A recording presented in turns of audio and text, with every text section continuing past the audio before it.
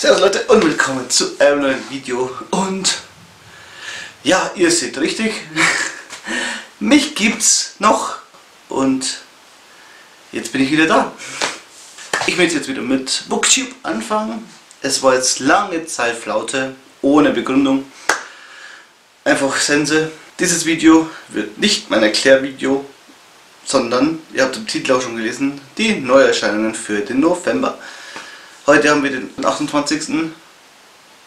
Oktober und jetzt gibt es ein neues Video, weil in ein paar Tagen ist der 1. November und ich dachte mir, ich starte mal mit den Neuerscheinungen wieder rein in mein altes Booktube geschehen. Wieso und warum ich jetzt so lange nicht mehr da war, dafür kommt ein extra Video und für dieses Video könnt ihr mir gerne Fragen in die Kommentare schreiben, was euch interessiert, egal was, was ich in der Zeit getrieben habe, was ich was euch interessiert, schreibt mir eure Fragen in die Kommentare, dann beantworte ich sie in dem nächsten Video.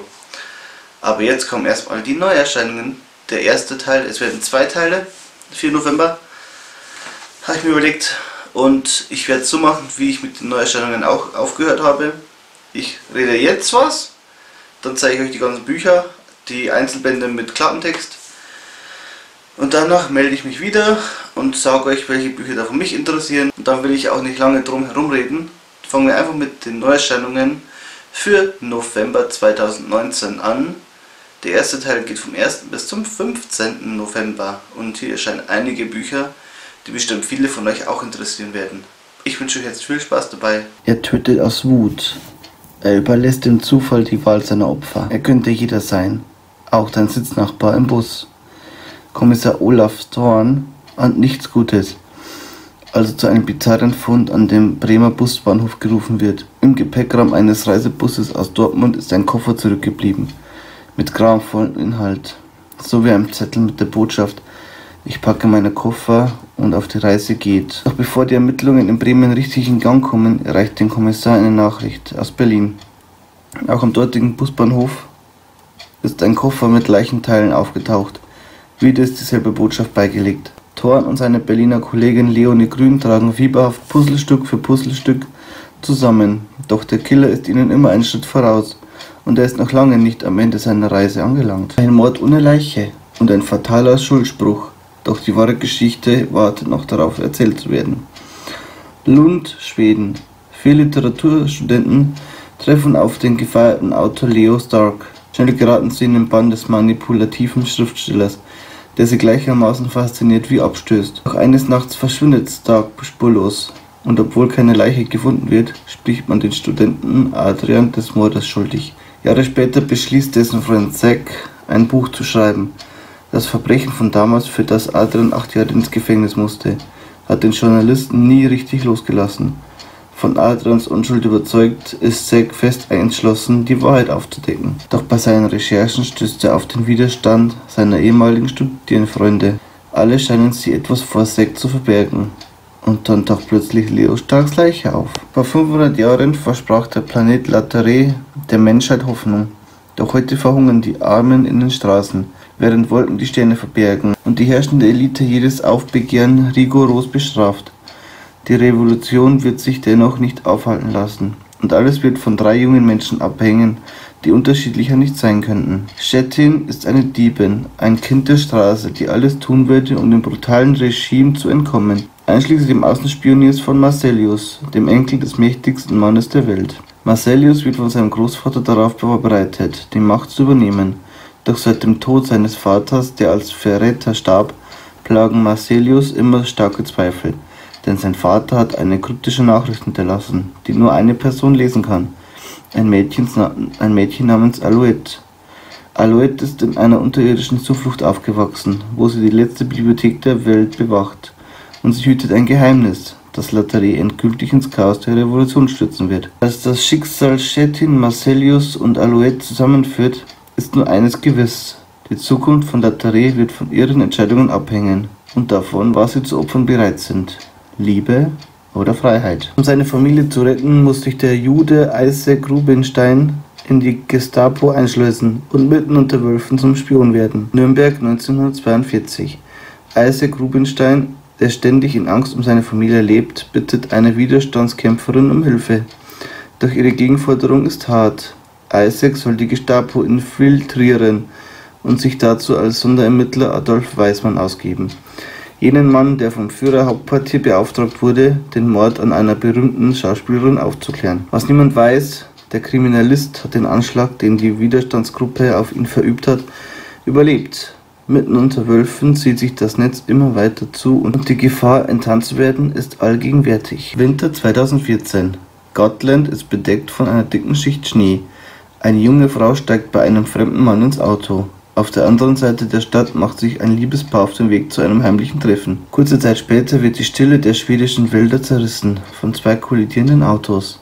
Ein Unfall, der nicht nur einem Mann das Leben kostet, sondern auch verheerende Folgen für die Beteiligten hat.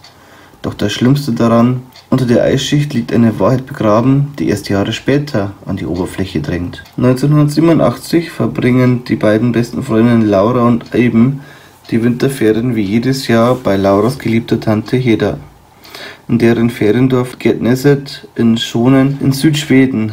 Doch bei Lucia Fest geraten die Mädchen wegen eines Jungen in Streit und am Ende des Abends brennt der Festsaal lichterloh. Laura wird schwer verletzt, Alben stirbt in den Flammen. 30 Jahre lang wird Laura nicht nach Gerdsneset zurückkehren. Ihre Tante wird sie nie wiedersehen. Als Laura nun die Nachricht erhält, dass Hedda gestorben ist und ihr Gerdsneset vererbt hat, ist sie geschockt. Muss sie sich nun doch noch den Dämonen der Vergangenheit stellen. Notgedrungen reist Laura nach Schonen, um das halb verfallene Feriendorf zu verkaufen. Doch die Käufer sind merkwürdig aggressiv und bald mehren sich Anzeichen, dass Hedda einem dunklen Geheimnis auf der Spur war.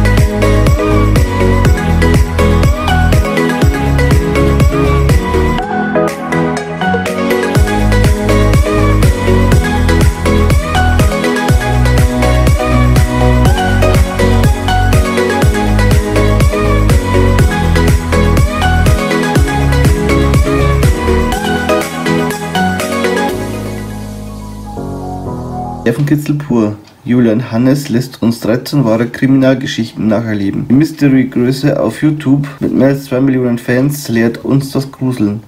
Alle Geschichten sind wahr, ungelöst und hochdramatisch. Neben der Faszination über das Verbrechen beschäftigt sich der YouTube-Star mit Fragen wie, warum wird jemand zum Täter? Kann es mir auch passieren, dass ich zum Mörder werde. Julian Hannes alias Jarrow beleuchtet in seinen Kriminalgeschichten all die verschiedenen Facetten der Handlung. Im Mittelpunkt steht nicht nur die grausame, schauderhafte Tat, sondern auch immer die darin verwickelten Menschen. Er möchte nicht nur wissen, wie es zu den Kriminalfällen kam, sondern er interessiert sich auch für das Schicksal der Opfer und Angehörigen und warum jemand zum Täter wurde. Getreu seinem Motto, die Welt ist böse, passt auf euch auf.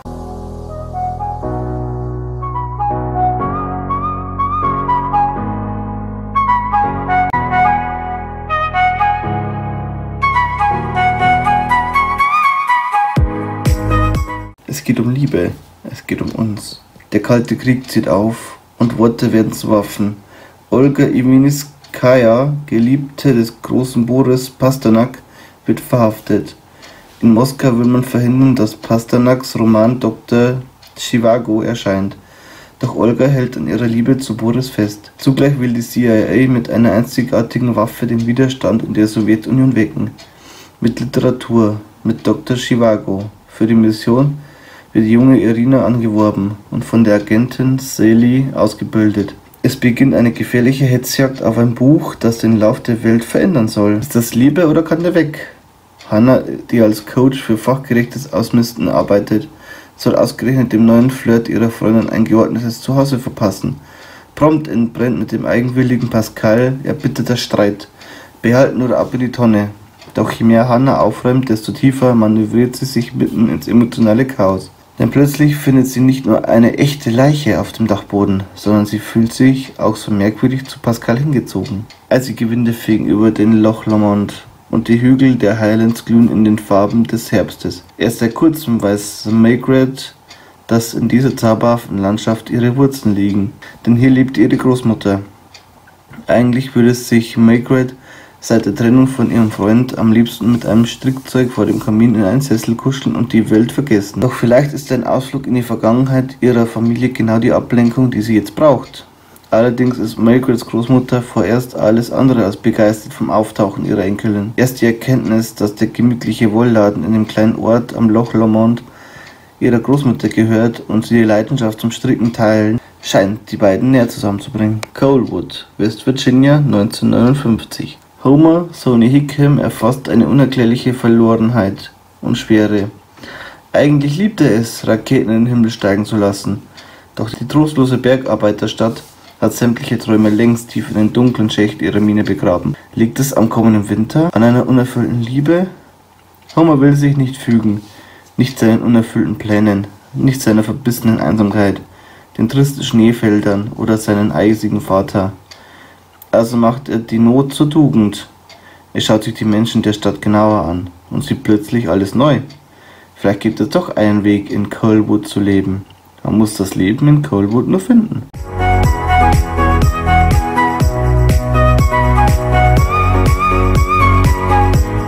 Liebe, Geld, Familie.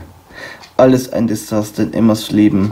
Verletzt und traurig flüchtet sie in das britische Seabad Britain und übernimmt die kleine Frühstückspension ihrer Tante. Ihre neue Freundin Patricia rät Emma, Briefe an einen unbekannten Traummann zu schreiben, sie wegzuschließen und auf diese Weise wie durch Magie neue Liebe in ihr Leben zu ziehen. Sie tut es, ohne richtig daran zu glauben. Doch eines Tages liegt Antwort von Unbekannten im Briefkasten. Wie ist das möglich? Wer schreibt dir da? Für immer beginnt eine Suche nach dem großen Unbekannten und einem Sinn im Leben. Das waren die Neuerscheinungen für November Teil 1. Und da waren sehr viele Bücher dabei. Und ein paar davon interessieren mich natürlich auch.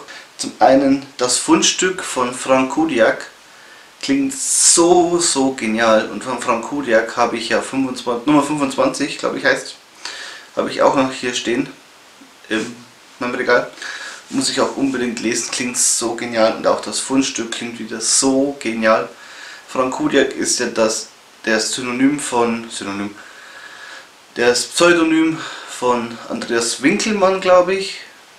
Ich glaube Andreas Winkelmann. Kann mich jetzt auch täuschen, wenn es falsch liegt, dann steht es irgendwo da. Im richtigen Namen. Und das klingt so genial. Von Andreas Winkelmann habe ich bisher nur äh, irgendein Buch, das Hörbuch gehört. Ich weiß gerade nicht mehr welches. Ich habe irgendein Hörbuch von ihm angehört. Ich blende euch irgendwo ein, wie der Titel heißt, ich weiß es gerade nicht. Hat mir sehr gut gefallen und deswegen wollte ich auch unbedingt mehr von Andreas Winkelmann lesen. Ich habe Deathbook hier und das Haus der toten Mädchen. Muss ich unbedingt alle noch lesen, definitiv. Dann interessiert mich auch Opfertier von Liza Jackson. Von Liza Jackson habe ich bisher noch nichts gelesen. Und deswegen habe ich es jetzt auch noch auf interessiert gelegt. Ich muss es jetzt nicht sofort haben, vorher will ich noch andere Bücher von ihr lesen. Weil es auch der achte Teil, glaube ich, der Reihe ist. Deswegen will ich auch vorher was anderes von ihr lesen und schauen, ob mich die Autorin überzeugen kann. Dann interessiert mich auch vier Jahre, vier Jahre von Karen Gerhardsen, oder wie es mir ausspricht. Das klingt auch so genial mit diesem mysteriösen Unfall und irgendwas, was im Geheimen liegt, mit, was mit dem Unfall zu tun hat. Und da interessiert es mich jetzt, was hat es damit auf sich. Der Klappentext macht mich irgendwie neugierig auf das Buch. Und deswegen interessiert mich das auch sehr. Das werde ich aber auch nicht sofort kaufen, denke ich mir. Das muss ich auch nicht sofort haben, wandert auf jeden Fall auf die Wunschliste.